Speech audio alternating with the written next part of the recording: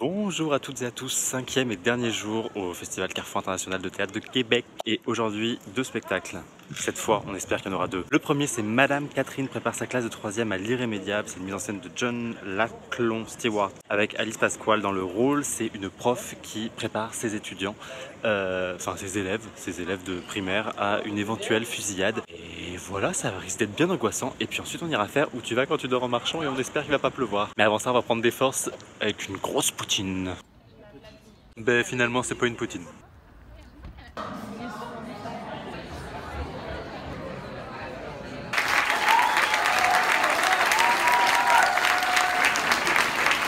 Euh, on va revenir dessus plus tard parce que c'est un petit peu... Disons que je suis pas très bien et c'est pas le hot dog de frites alors. Clairement pas. Un petit peu retourné boulet.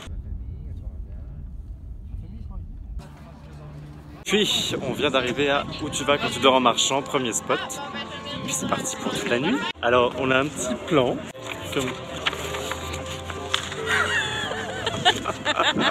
voilà un petit plan. En fait, comme il y a 45 minutes d'attente au premier spot, pour vous dire à quel point c'est quand même un grand succès de la ville de Québec, et ben on va commencer par le spot euh, suivant à l'envers. Il y a un peu de vent. Ariane, va pas trop vite.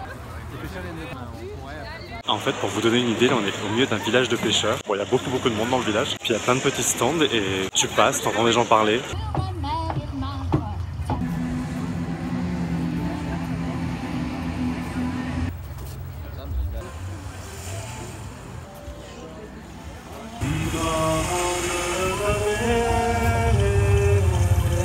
Fait là c'était vraiment une fresque, c'est assez contemplatif, on déambule vraiment dans un petit village de pêcheurs. J'imagine qu'il y a quand même un peu une narration, peut-être qu'on n'est pas resté assez longtemps pour euh, vraiment profiter de ça, mais en tout cas déjà le côté immersif était très bon. Attention, on entre dans une installation. Il y a des gens qui cueillent des nuages, mais il y a un petit problème de poulie.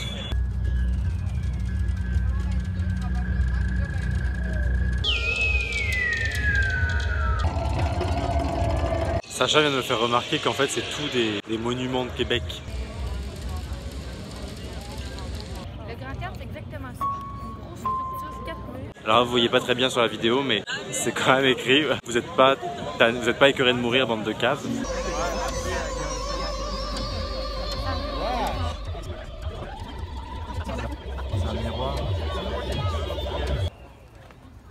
Donc là, on s'en va à la Terre Promise euh, de Marise Lapierre et Maxime Beauregard-Martin, celui qui avait fait Akima Québec, la première spectacle que j'ai vu à Carrefour International, que vous pouvez revoir dans la vidéo numéro 1.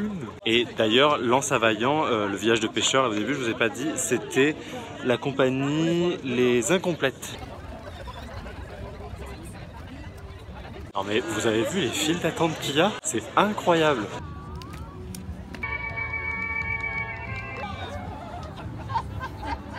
il y a comme plein de spots. Il y a un côté un peu Magritte, c'est-à-dire que tout est absurde, tout est en décalage.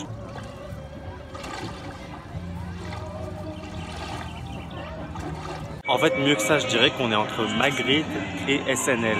Un petit côté freak show par endroit. On est comme dans une grande fête foraine où il y a des choses un peu réalistes, en même temps, il y a toujours un élément qui fait que tu vires dans quelque chose de complètement poétique.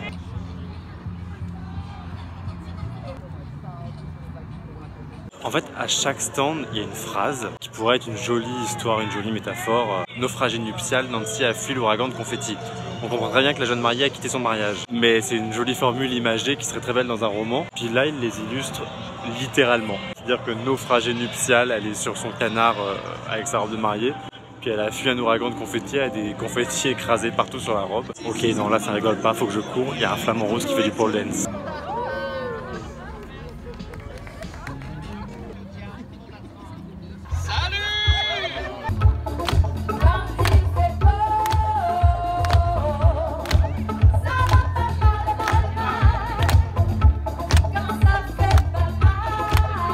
Donc ça fait bien peine de quitter celui-là qui était vachement bien, mais il reste deux stands à faire et il reste que 15 minutes avant la fin. Et il y, y, a toujours une grosse lumière derrière moi dès que j'allume et qui me fait un gros machin. Donc là on arrive à point de suspension qui est de Karine Ledoyen et Ludovic Fouquet, ancien prof Paris 3, big up, n'importe quoi.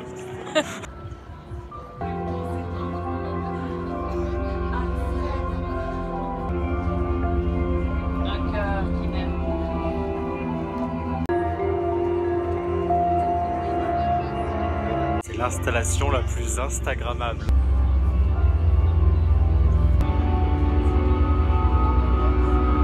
Même les régulateurs de flux font partie de l'installation.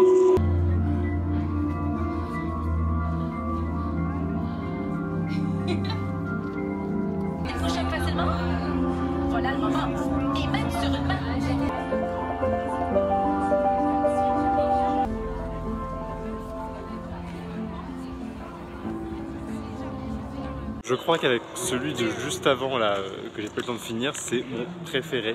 C'est en fait c'est une vraie galerie. Il y a des cartels euh, au pied de chaque statue, chaque statue vivante, des cartels qui respectent vraiment les cartels de musée avec euh, les indications de matériel, genre une danseuse, des cheveux et, du tube, je sais pas trop quoi. C'est vraiment très très beau.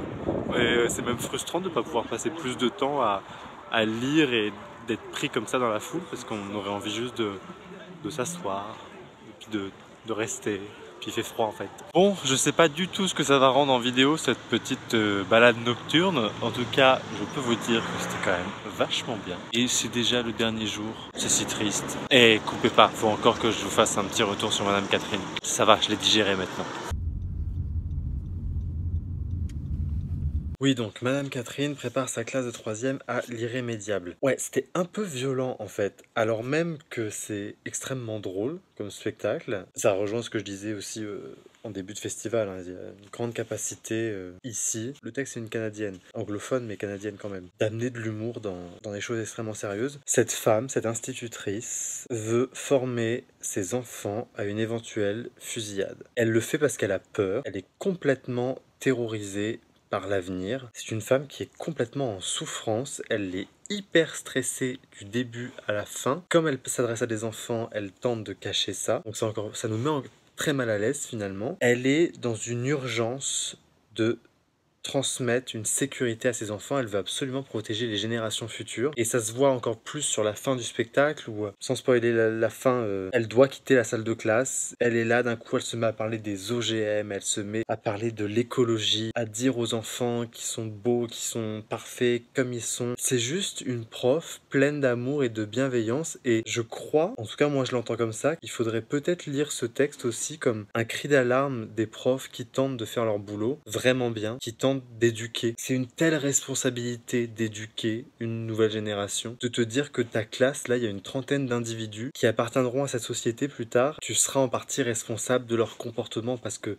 c'est toi qui les auras eus très jeunes. Et dans cette détresse-là, dans cette détresse de protéger les enfants, elle en oublie complètement qu'ils sont des enfants. Enfin, elle l'oublie pas complètement parce qu'elle continue à utiliser des méthodes pédagogiques, des méthodes pour les enfants, avec des marionnettes, avec euh, des jeux de vocabulaire, mais elle les forme à se préparer à une fusillade. Et puis ça, apparemment, ça existe. Ça nous pose aussi la question du choix qu'on doit faire face à une menace terroriste, face à la possibilité d'une attaque. Est-ce qu'il faut se préparer et vivre du coup avec cette peur d'une potentielle attaque? Ou est-ce qu'il faut vivre en toute innocence et se faire tuer de même Il y a une fable au tout début de Castor. Donc elle est là avec ses petites marionnettes de Castor toutes mignonnes. Il y a un des frères Castor et ben il se construit un gros barrage bien solide pour résister à la tempête et puis l'autre il fout rien comme ça il passe une nuit toute pourrie euh, parce qu'il se prend toute la tempête dans la gueule. Mais le matin ils sont quand même tous les deux vivants. Donc il y en a un qui a bien dormi et l'autre pas du tout. Et là ils se font buter tous les deux par un chasseur. Fin quel castor t'as envie d'être Et puis c'est là qu'intervient Catou la lapine, qui s'est terrée dans son terrier et qui vit complètement recluse. Voilà les propositions de vie qu'on te fait en gros. Soit tu vis terré dans un terrier complètement pétrifié par la peur et effectivement tu vis, mais t'as pas beaucoup de fun. Soit tu, tu meurs mais t'as du fun. en tout cas, très sérieusement, cette comédienne, Alice Pasquale, est tellement juste dans son jeu. Enfin vraiment, moi j'ai été, j'ai été pris et je vous jure que heureusement qu'on allait à où tu vas quand tu dors en marchant après parce que ça m'a permis de me changer les idées, mais ça m'a vraiment